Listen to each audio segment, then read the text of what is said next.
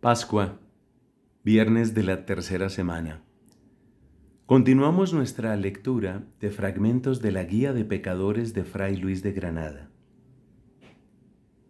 Estamos en el capítulo 15 de la segunda parte del segundo libro.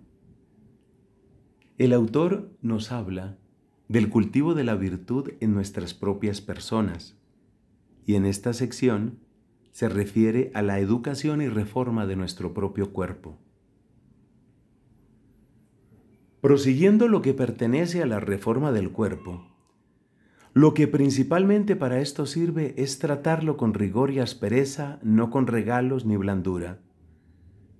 Porque así como la carne muerta se conserva con la mirra, que es amarguísima, sin la cual luego, o sea, pronto se daña e hinche de gusanos, Así también esta nuestra carne, con regalos y blandura, se corrompe y se hinche de vicios, y con el rigor y aspereza se conserva en toda virtud.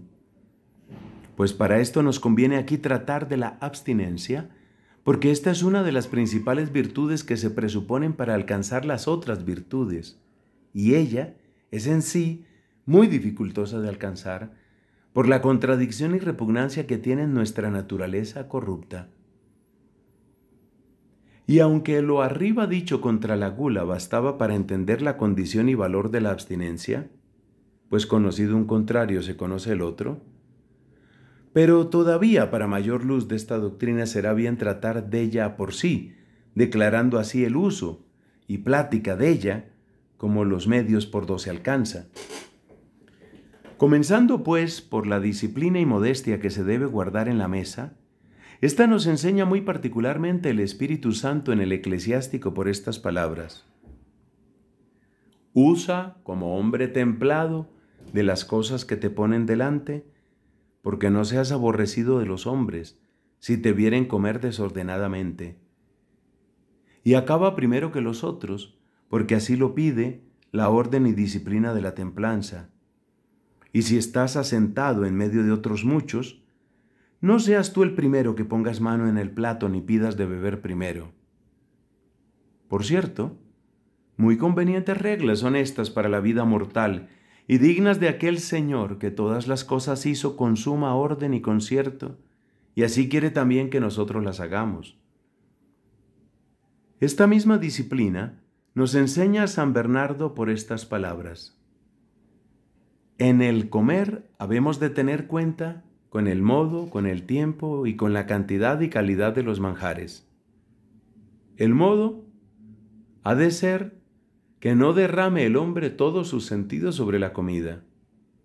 El tiempo, que no anticipe la hora ordinaria de comer. Y la calidad, que contentándose con lo que los otros comen, no quiera otras particularidades ni delicadezas, si no fuere por evidente necesidad. Esta es la regla que nos da en pocas palabras este santo. Y no es muy diferente la que nos da San Gregorio en sus morales diciendo, abstinencia es la que no anticipa la hora de comer, como hizo Jonatán cuando comió el panal de miel, ni tampoco desea manjares apetitosos, como hicieron los hijos de Israel en el desierto codiciando los manjares de Egipto. Ni quiere guisados curiosamente aparejados, como los querían los hijos de Elí, ni come hasta más no poder, como hacían los de Sodoma, ni con demasiado gusto y apetito, de la manera que comió Esaú, la escudilla de lentejas por la cual vendió su mayorazgo. Hasta aquí son palabras de San Gregorio, en las cuales brevemente comprehende muchas cosas y las acompaña con muy convenientes ejemplos. Pero más copiosamente trata esta materia Hugo de San Víctor, el cual en el libro de la disciplina de los monjes enseña la que debemos tener en el comer por estas palabras. En dos cosas, dice él, se ha de guardar la disciplina y modestia en el comer, conviene saber, en la comida y en el que la come, porque el que come ha de procurar tener modestia en el callar y en el mirar y en la compostura del cuerpo, para que enfrene su lengua de toda parlería y abstenga sus ojos de mirar a todas partes, y tenga todos los otros miembros y sentidos compuestos y quietos.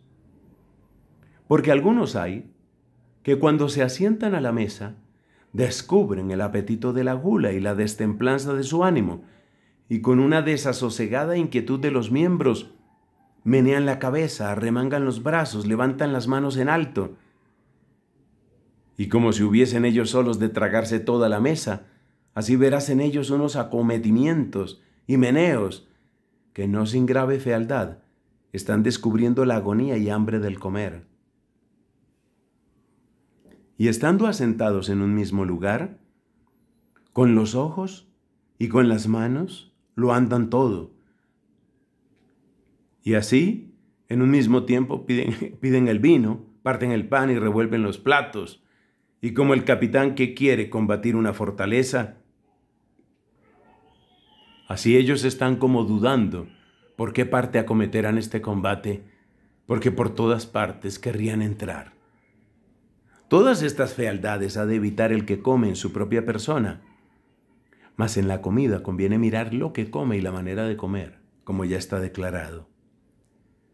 Y aunque en todo tiempo sea necesario llegarse a la mesa con toda esta preparación, pero mucho más cuando hay hambre, y aún mucho más cuando la delicadeza y precio de los manjares despiertan el apetito del comer, porque en este caso son mayores los incentivos de la gula por la buena disposición del órgano del gusto y por la excelencia del objeto. Mire pues el hombre con atención en este tiempo, no le haga creer la gula que tiene hambre para comer y mesa y manteles.